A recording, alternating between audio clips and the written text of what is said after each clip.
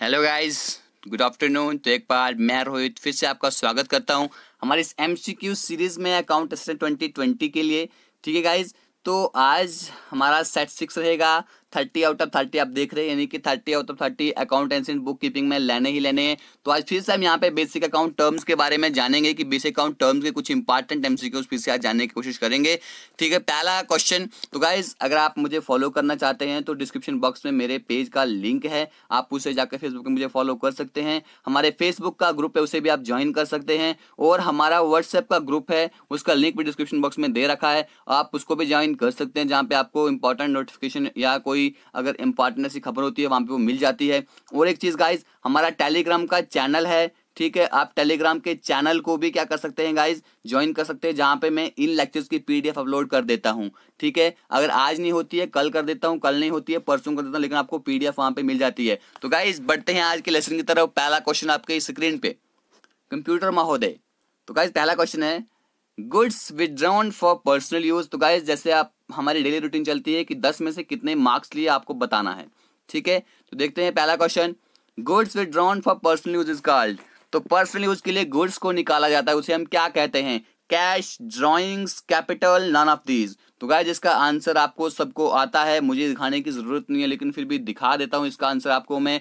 अगर हम personal use के लिए वहाँ से गुड्स को विड्रॉ करते हैं, उसे हम कहते हैं ड्राइंग अब ये चित्रकला वाला जो चित्रकला करते हैं, ये हाथी बनाया, ठीक है? अब ये ये, वो वाले चित्रकला नहीं है, ठीक है? ये, वो वाली चित्रकला नहीं है, बल्कि ये कौन सी चित्रकला है? ये पैसे निकालने वाली चित्रकला है भाई। पैसा, बोलते हैं ना, पैसा बोलता है, ठीक है? तो बस अगर पर्सनल यूज़ के लिए अगर आप बिज़नेस में से पैसे को विड्रॉ करते हो, पैसे को निकालते हो, उसे हम कहते हैं गाइस ड्राइंग ठीक है? तो देखते हैं question number two A person to whom money is owed by a firm against purchase of goods is known as. अब वो पर्सन जिसको मनी देना है, जिसको पैसे देने किसने? फर्म ने। अब क्यों देने हैं? उससे हमने परचेज ऑफ़ गुड्स किया है। गुड्स को परचेज किया है। उसे हम क्या बोलते हैं? क्रेडिटर बोलते हैं डेटर बोलते हैं बोथ ए आर बी बोलते हैं या नन ऑफ़ दी अबव तो गाइज़ क्या बोलते हैं उसको? देखते हैं इसका आंसर अगर आता है तो जल्दी से कमेंट बॉक्स में कर दीजिए, नहीं आता है, देखते हैं इसका आंसर क्या है। तो गाइज़ उसे हम बोलते हैं क्रेडिटर यानी कि लेनदार। क्या बोलते हैं गाइज़ लेनदार, क्योंकि इसने हमसे पैसे लेने हैं, ठीक है? तो बढ़ते हैं आगे। तो देखिए गाइज़ एक चीज़ यहाँ पे बता दूँ मैं। एक हमारे पास क्या होते हैं? वट वी ऑन उसे हम कहते हैं एसेट्स दूसरा होता है हमारे पास वट वी ओ, जो हमें देना है, उसे हम कहते हैं लाइबिलिटीज ठीक है? तो देखते हैं क्वेश्चन नंबर थ्री क्या बोलता है? The assets that can be converted into cash within a short period अब वो एसेट्स जो एसेट्स तो होते हैं कि जो कैश में कन्वर्ट हो जाएँ। अब ये दो किस्म के होते हैं, हमने पढ़ा था। वो होते हैं, कौन से कौन से? एक होते हैं फिक्स्ड एसेट्स ठीक है? तो एक होते हैं हमारे पास करंट एसेट्स ठीक है? तो आपको बताना है कि जो एक मतलब शॉर्ट पीरियड में, यानी कि एक साल से पहले पहले क्या हो जाए? एक टेन्यूर जो होता है फाइनेंशियल ईयर से पहले पहले अगर वो कैश में कन्वर्ट हो जाए तो उसे हम क्या कहते हैं? ऑप्शन है आपके पास current assets fixed assets intangible assets या इन्वेस्टमेंट्स तो गाइज़ इसका आंसर आपको सबको आता है मुझे पता है। तो इसका आंसर है हमारे पास? करंट एसेट्स करंट एसेट्स को शॉर्ट टर्म एसेट भी बोलते हैं ठीक है? जो जल, मतलब कि शॉर्ट पीरियड में एक साल से पहले पहले वो कैश में कन्वर्ट हो जाते हैं। देखते हैं क्वेश्चन नंबर फोर हमसे क्या पूछता है। पेटेंट कॉपीराइट्स एंड ट्रेडमार्क्स ये क्या होते हैं? करंट एसेट्स होते हैं फिक्स्ड एसेट होते हैं इनटेंजिबल एसेट्स होते हैं या इन्वेस्टमेंट होती हैं। तो गाइज़ इसका आंसर आपको ये भी आता होगा कि पेटेंट क्या होता है कॉपीराइट्स क्या होते हैं ट्रेडमार्क्स क्या होता है। तो बढ़ते हैं, देखते हैं इसका आंसर हम क्या है। तो गाइज़ ये टेंजिबल एसेट्स हैं। तो फिक्स्ड एसेट को आगे फर्दर डिवाइड किया जाता है किसमें? टेंजिबल एसेट्स में और इनटेंजिबल एसेट्स में। टेंजिबल एसेट्स में और इनटेंजिबल एसेट्स में फिक्स एसेट्स को क्या किया जाता है गाइज़ उनको फर्दर डिवाइड किया जाता है। तो टेंजिबल एसेट्स वो एसेट्स होते हैं जिनको हम टच कर सकते हैं, जिनको हम फील कर सकते हैं, जिनको हम देख सकते हैं। ठीक है? अब इनटेंजिबल एसेट्स वो एसेट्स होते हैं जिनको ना ही हम फील कर सकते हैं, ना ही हम देख सकते हैं, ना ही हम टच कर सकते हैं। तो गाइज़ वो होते क्या है? जैसे कि पेटेंट कॉपीराइट्स ट्रेडमार्क अब पेटेंट की यहाँ पर मैं आपको एग्ज़ाम्पल बताता हूँ। अभी मान लो कोविड नाइन्टीन चल रहा है, ठीक है? बहुत सारी कंपनीज़ जो हैं, इसकी वैक्सीन तैयार करने में लगी हुई है, ठीक है?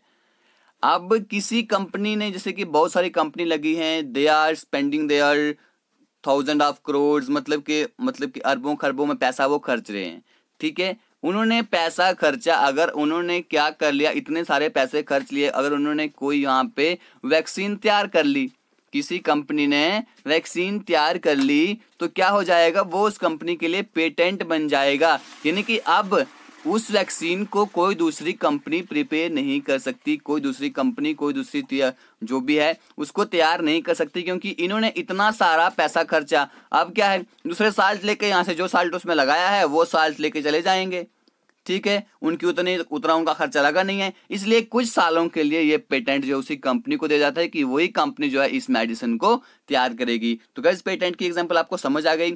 फिर होता है कॉपीराइट क्या होता है गाइज़ कॉपीराइट आजकल तो पता है कि बहुत सारा कॉपीराइट होता है, ठीक है? अब यहाँ पे देखो क्या होता है कॉपीराइट क्या होता है, मैं आपको बताता हूँ कि पहले क्या होता था कि किसी ने क्या बनाया, किसी ने कोई सॉन्ग बना लिया, ठीक है?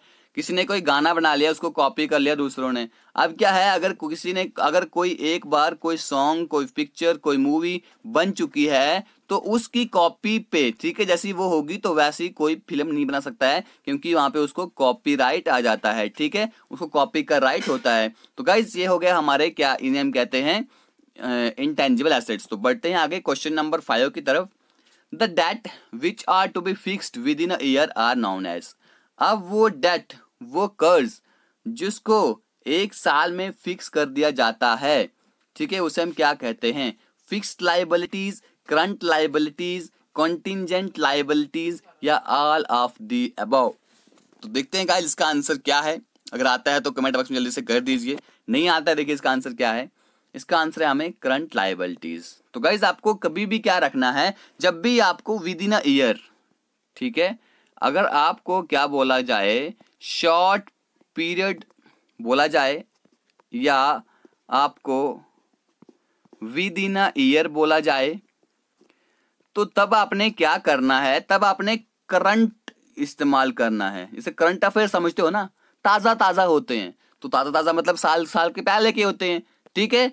तो उनको आपने क्या करना है? उसको हम बोलेंगे करंट लाइबिलिटीज ठीक है? चाहे वो एसेट्स में हो, चाहे वो लाइबिलिटीज में हो, तब आपने क्या बोलना है? उसको करंट बोलना है। अब यहाँ पे लाइबिलिटीज क्यों बोलेंगे? देखिए डेट है, कर्ज है, यानी कि देना है इसको। क्या करना है? देना है। अगर देना है तो तब क्या लिखेंगे? लाइबिलिटीज अगर उससे लेना होता, अगर उससे लेना होता लेना होता, तब क्या होता? तब हमारे पास एसेट्स होती।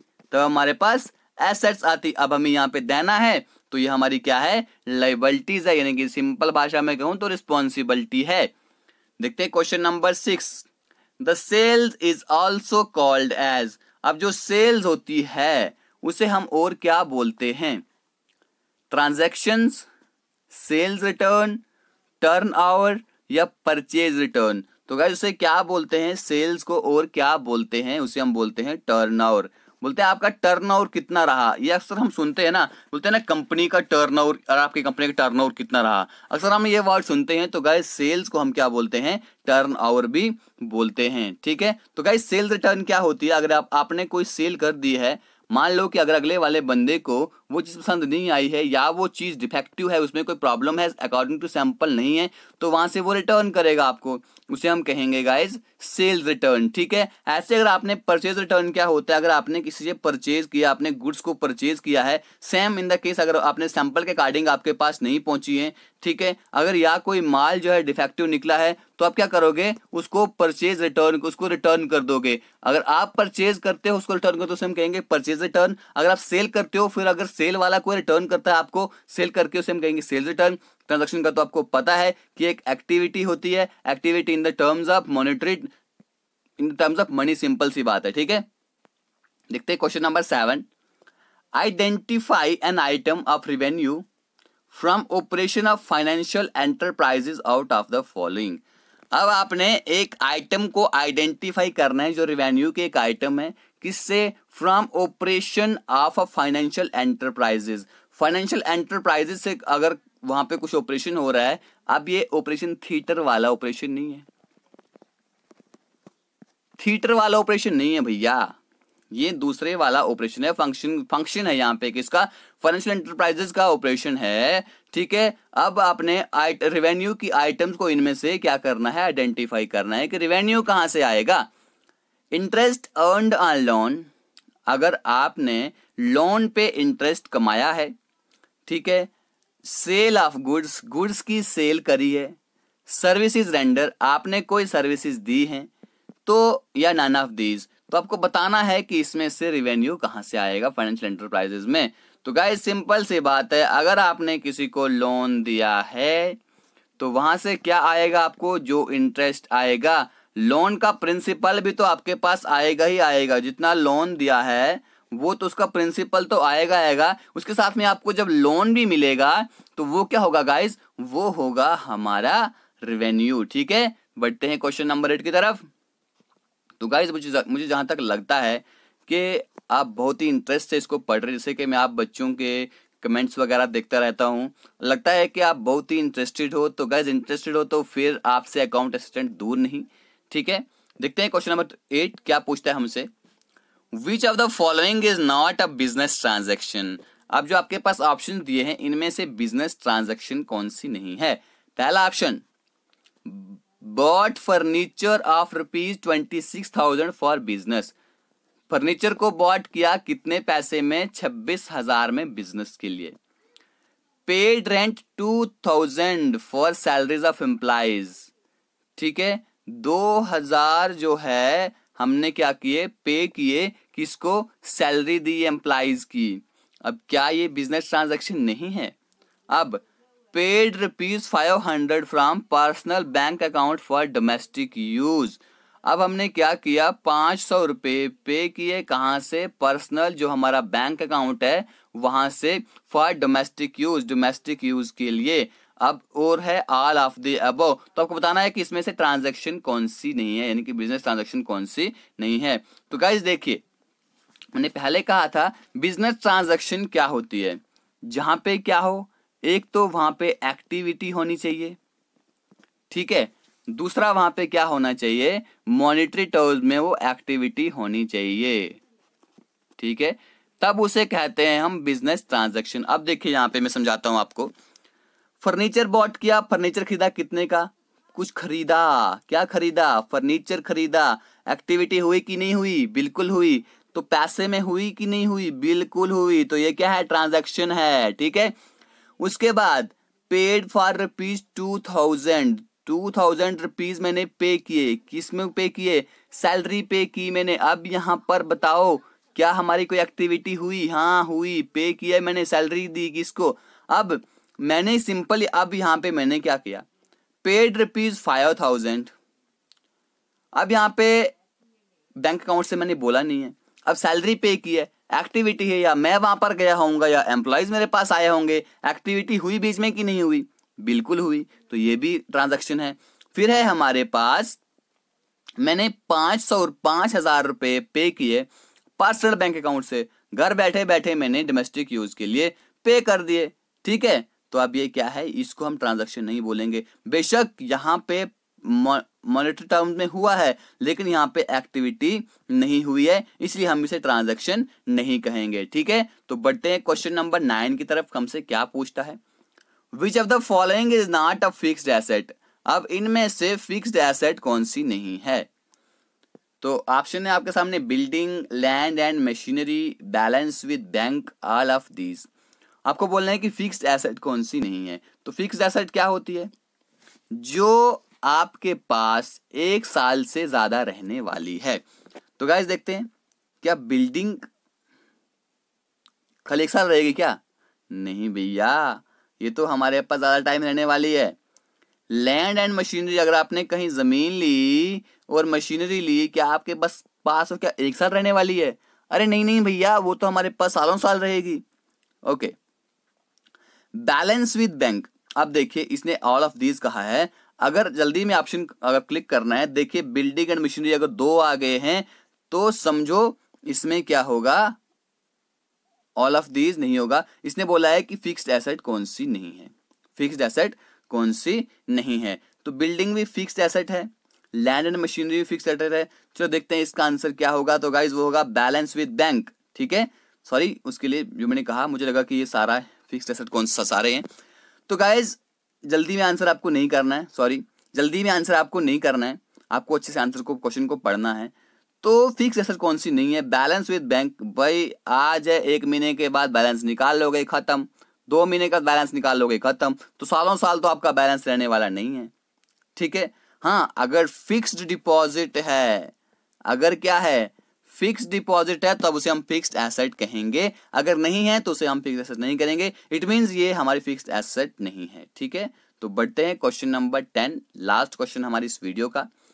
तो गाइज़ आई होप कि आप हमारे इस सीरीज़ को अच्छे से एंजॉय कर पा रहे होंगे, ठीक है?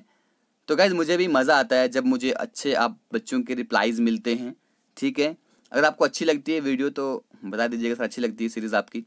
देखते क्वेश्चन नंबर टेन क्या पूछता है हमसे? जो following transaction is not of financial character अब जो फॉलोइंग ट्रांजेक्शन है आपके सामने दी है, इसमें से फाइनेंशियल करेक्टर की कौन सी नहीं है?